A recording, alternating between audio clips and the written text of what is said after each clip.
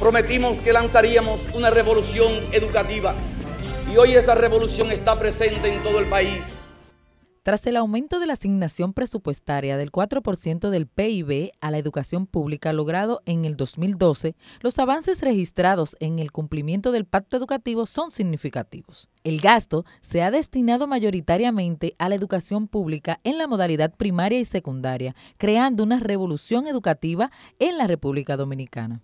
El total de centros educativos con jornada extendida inaugurados en esta primera gestión del gobierno de Danilo Medina asciende a 3.445, lo que suma cerca de 25.000 aulas nuevas y remodeladas, beneficiando alrededor de 1.114.000 estudiantes.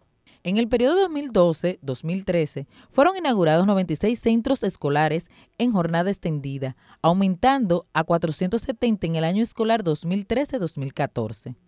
Estas cifras crecieron de forma significativa en el periodo 2014-2015, con 1.545 nuevos centros con jornada extendida y con 1.334 en el pasado año escolar 2015-2016.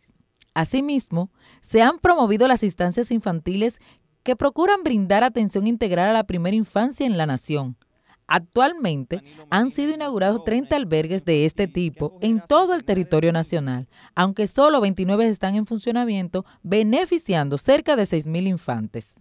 Durante los últimos tres años de la gestión del presidente Danilo Medina, dentro de la revolución educativa fueron concedidas 200.000 becas nacionales e internacionales a más de 80.000 docentes.